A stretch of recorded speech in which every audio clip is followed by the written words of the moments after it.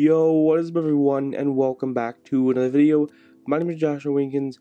In this video, I want to go over how to create this really cool repeating effect or repeating frame effect in Final Cut Pro 10. So this is what the effect looks like right here. As you can see, we go to the next clip right here and then you have this really cool repeating um, frames effect. Now I've seen this effect multiple times, but I've never really seen a tutorial on how to actually create this effect. So let's kind of break this effect down um, frame by frame, and then I'll go over how to actually create it. So what you want to do is I'll go back one frame right here. So let's start with the, the beginning of the video right here. So let's go start right here. This is where the clip starts. So then you go one, two, three, four, five, six, seven, eight, eight frames, and then you have this one right here, and then you'll go an extra one, two frames. You have it you have another video right here and then you go one two there you go.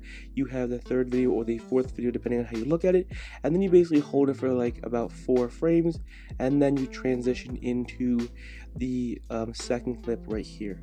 So i'm to go ahead and create a new project and give you a brief idea of how to create this effect. So we'll go to new project and we'll just name this test right here uh, so open up here and then I'll just copy this right here.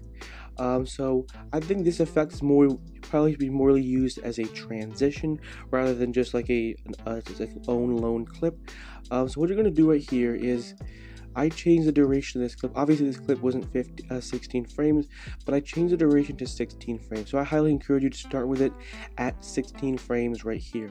Now, what you're going to do is you're going to hold down, we'll click on the clip, you're going to hold down Option, and you want to create a copy right here. Now, this marker, this is where it starts right here. So what you want to do is you want to take this top one right here, and you want to make it 8 frames. So this is 16 frames, 8 frames is the, the first half, there's nothing happening, and the second half, this is when the effect takes place. Okay, so this one is scaled at 125%. So I would encourage you to probably go down by 20%.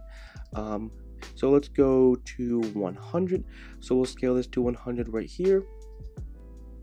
What you want to do is you want to hold down option, you want to create another copy, and then what you want to do is you can you could get rid of these markers um, if you want, because this is primarily where the marker starts.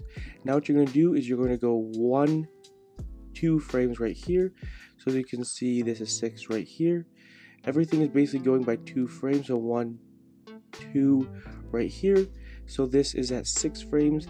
Now we're going to do is we're going to create another copy. Actually, before we create a copy, you want to go to the scale right here, and you want to scale it to 80%. Of course, those are, those are the numbers that I'm using.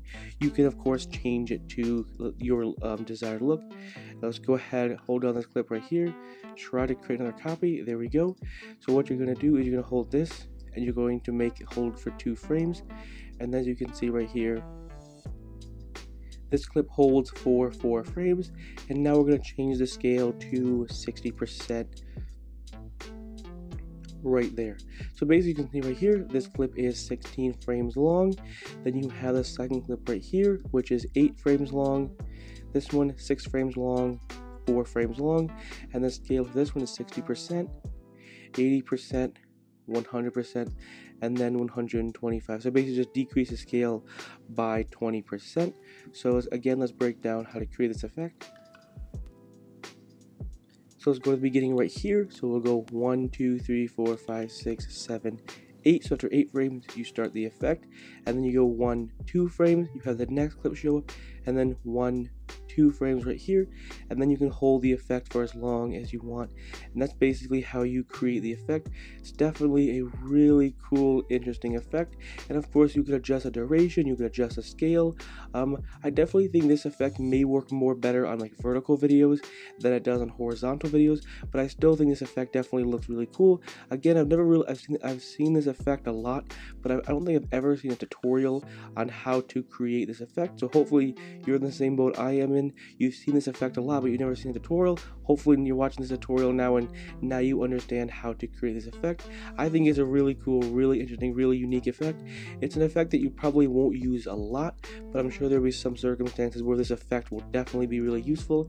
I personally like this effect, and I hope you also like this effect. And if you don't, then you don't. But I think this effect is pretty cool. And again, you could you you could do you can make this effect however you want. You can take your own creative spin on it. You don't have to do exactly the way I did it.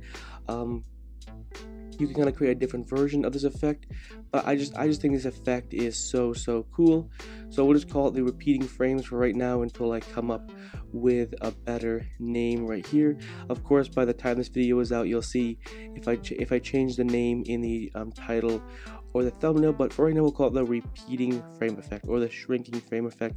Again, I have no idea what to name this effect, um, so I guess if you have any suggestions, go ahead and leave it down in the comments below. But of course, like I said before, you'll see the title and the thumbnail, and maybe I'll change the name completely, and will no longer be the repeating frames effect. Only time will tell. But that being said, that is what the effect looks like. I think it looks really, really cool. So anyways, hopefully you enjoyed this video. Hopefully you found it helpful and informative. If you're new to this channel, I upload Final Cut Pro 10 tutorials every day at 10 a.m. Eastern Standard Time. So if you enjoy these types of videos, consider hitting that subscribe button. I also have a Final Cut Pro 10 tutorial playlist with over 120 Final Cut Pro 10 tutorials. See you in the next one. Peace.